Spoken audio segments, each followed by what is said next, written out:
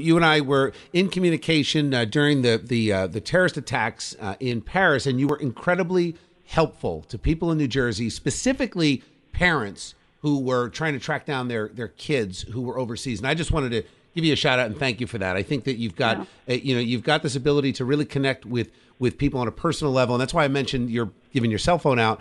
Uh, but I I just I appreciate how you acted during that whole thing because Well, thanks, it was Bill. well it was really stressful for so many families in New Jersey, and you know when you're not in you know- communication, and the federal government was just not doing their job, if you ask me. Well, I, I was a parent. We were doing the best we can. Yeah. I am a parent, and, and we Yeah. all have to do the best we can. And, and I truly do believe that public servants need to be accessible at all times. Yeah, I agree So, with you. I'm, What- yeah, and so I, I'm glad you reached out. Let me ask you. Let me ask you. What what do the what do people call you? Because you know I was talking about this earlier. Like Lieutenant Governor Kim Guadagno is such a long mouthful. What's that? Uh, as I said, it depends on the day, you know, because there hasn't been.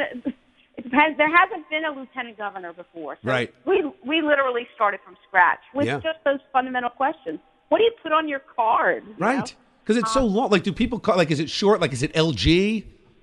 Uh, the governor calls me LG. LG. Uh, LG because it's fast. If Yeah. you're in law enforcement, a lieutenant is L, is usually an LT.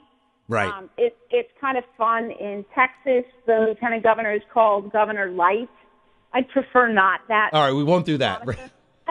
I think lieutenant governor. My preference, quite frankly, is Kim, um, because I think when you put that title on it, you, people get a little nervous. And my job is to reach out to people and make sure people are comfortable coming to me with their problems. yeah. in terms of business and and they'll come to me with their business problems if they know that one you're going to answer the call and two you're accessible when you when you get on the phone and that's what I try to do every day. Okay, well, appreciate it, and uh, uh, we really appreciate you coming on and talking to me this morning. There's going to be lots more to talk about uh, as uh, as the year uh, comes to an end and we start a new year here. So, Lieutenant Governor Kim Guadagno, Kim, thank you for calling me on New Jersey 101.5. We'll talk to you soon. You have a great weekend. And you too, Bill.